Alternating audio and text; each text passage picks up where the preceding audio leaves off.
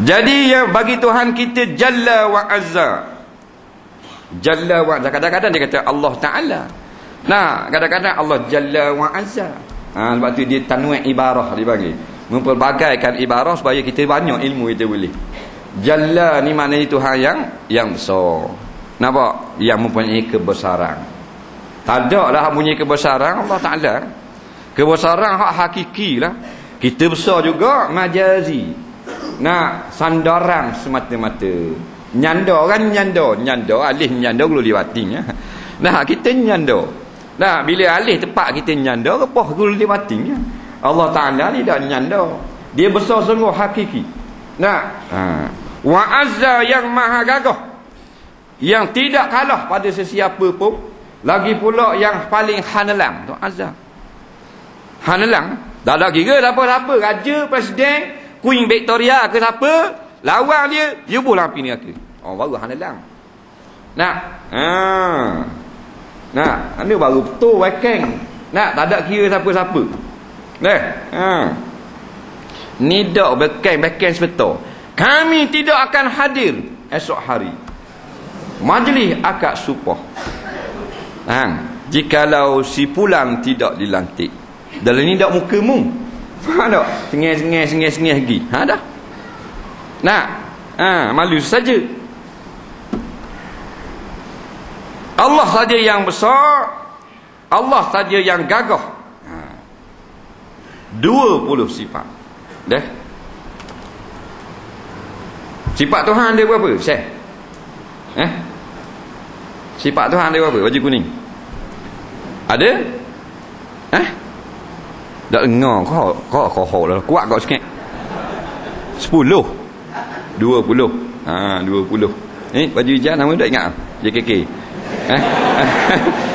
Apa banyak. Eh? Sifat Tuhan tidak terhitung bilangannya. Faham? Baik. Betul semula. Bukan 20 eh? Bukan. Salah. Tidak ada orang yang mengetahui banyak mana bilangan sifat Tuhan ni. Allah saja yang mengetahui. Malaikat yang muqarrabun pun tak tahu berapa Wajib kita berentikak segala sifat-sifat kesempurnaan, sifat kamalat milik Tuhan. Sama ada yang kita dengar dah, sama ada 20 kita belajar, sama ada yang datang dalam Quran, dalam hadis atau yang hanya ada di pengetahuannya pada dada para nabi atau yang Allah sendiri mengetahui setakat yang kita wajib tahu segala-gala sifat yang terpuji sifat kamalat itu milik Allah Subhanahu wa taala. Dah 20, 20 ni wajib kita belajar padang sekadar ni sahaja. Nah, 20 ha, wajib belajar pada sisi ulama-ulama. Ah, ha, khalaf, neh, bukan sifat Tuhan 20, 20 yang wajib kita belajar. Neh. Ha. Iaitulah wujud artinya ada lawannya tiada mustahil tiada wajib adanya bermula dalil adanya Tuhan itu baharu alam ini. Kerana jikalau tiada Tuhan kita maka tiadalah suatu daripada alam ini. Kerana tiada tasawur tiada tergambar pada akal akan wujud alam ini dengan tiada yang menjadikan dia kan alam. Yakni maksudnya kehendak musannif ada selama-lamanya Tuhan. Ha ini pasal pasal kita lama nak, ya, pasal kita lama dia bukan masalah kita, masalah sarah je.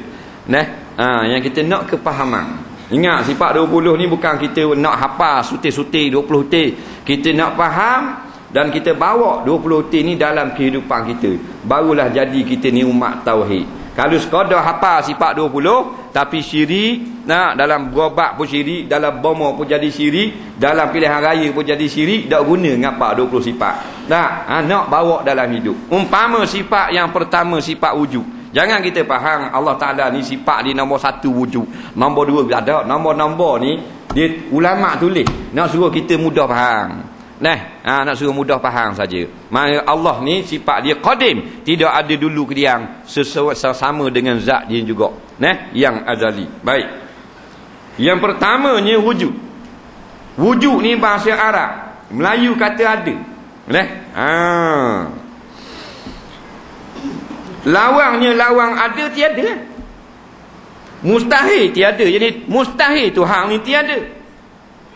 Maka wajiblah pada akal adanya ada Tuhan bermula dalil adanya Tuhan baharu alam ini maksudnya mana dalil Allah itu ada dalil Allah itu ada walaupun kita tak pandai nak baca Quran Tak dengar orang ngajar tafsir. Hadis pun tak ada bersuti haram. Dengan alam inilah alamat adanya Tuhan. Nah, alam-alam ni apa? Alam ni masih Allah. Segala perkara yang lain daripada Tuhan alam belaka. Langit, bumi, ma baina sama iwal ar, bintang, cakrawala, matahari, bulan, daci, sungai, gunung ganang, hayawan, manusia, malaikat alam tu.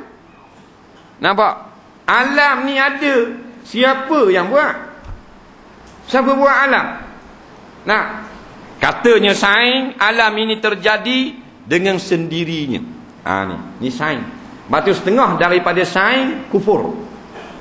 Sains yang kita boleh pegang sains yang tidak bercanggah dan selari dengan Quran. Nah, itu ha, sains. Sebab Allah ni cipta alam, sains kaji alam. Mana lebih pengetahuan orang yang cipta alam dengan orang yang baru nak kaji alam? Ha, tengok. Kita tak berasa sains lebih. Sains ni bukan orang yang buat alam. Allah ni pencipta alam ni. Nah, ni baru nak kaji. Maka kajian, kajian sains ni zanniyah.